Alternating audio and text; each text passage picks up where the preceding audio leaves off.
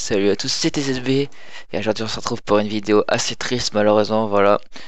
Donc euh, comme vous avez pu remarquer, bah, on peut plus se connecter donc euh, sur le PSN en ce moment ou sur le Xbox Live.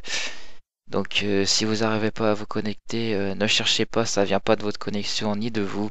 C'est tout simplement les Lizard Squad qui ont donc réussi donc leur pari à hacker les, serveurs donc de Microsoft et Sony. Donc c'est aussi bien la Xbox 360, la Xbox One, la PS4, la PS3. Donc voilà, je trouve que c'est un petit peu c'est dégueulasse de leur part quoi en pleine période de Noël. Ça fait vraiment chier quoi. Tous les gens qui ont acheté par exemple GTA 5 euh, ou Advance Warfare et qui voulaient donc s'amuser en ligne, et eh ben ne pourront pas. J'espère que ce sera vite réglé, que ça va bientôt revenir. Voilà, ça fait vraiment chier, euh, surtout pour faire des vidéos et tout. Euh, c'est un petit peu compliqué maintenant.